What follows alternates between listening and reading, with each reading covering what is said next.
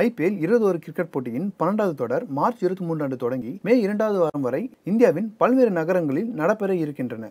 தொடக்க நாளான மார்ச் இருபத்தி மூன்று அன்று சேப்பாக்கம் எம் ஏ சிதம்பரம் மைதானத்தில் சென்னை அணியும் பெங்களூரு அணியும் மோதின டாஸ் வென்ற சென்னை அணி கேப்டன் தோனி பந்து வீச்சை தேர்வு செய்தார். இதையடுத்து பெங்களூரு அணி முதலில் பேட் செய்தது. தொடக்க ஆட்டக்காரர்களான விராட் கோலியும் பார்த்திவ் படேலும் களமிறங்கினர். சுழலில் ஹர்பஜன் சிங் கலக்கினார். தடுமாறிக் கொண்டிருந்த கோலி ஆறு ரன்னில் அவுட் ஆனார். அடுத்து வந்த மொயின் அலியை ஒன்பது ரன்னில் திருப்பி அனுப்பினார். தொடர்ந்து மிரட்டிய இவர் அபாயகரமான டி வெல்லியஸும் ஒன்பது ரன்னில் அவுட் ஆக்கினார். ஹெட்மேயர் ரன் எதுவும் எடுக்காமல் பெவிலியன் திரும்பினார். பெரிதும் எதிர்பார்க்கப்பட்ட ஷியாம் துபே இரண்டு ரன்னுக்கு இம்ரான் சுழலில் சிக்கினார்.